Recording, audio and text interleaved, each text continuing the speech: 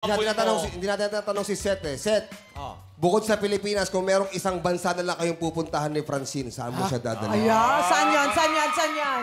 Set, pakisagot yan, Set, ha? Saan yan, Seth? Um, siguro...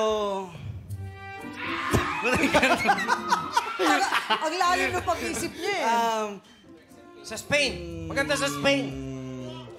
siguro Switzerland.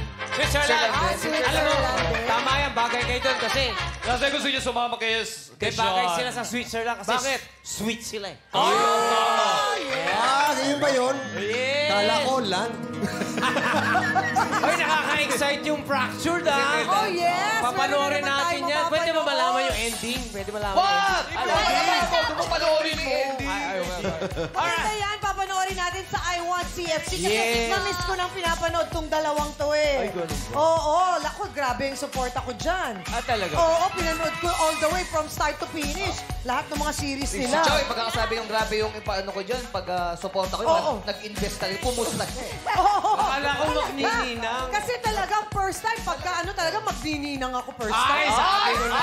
Umabot na tayo nun syempre. Kaya Francine, Seth, maraming salamat, ha. Oh, love ko yung dalawang yan. eh. Mabait yan.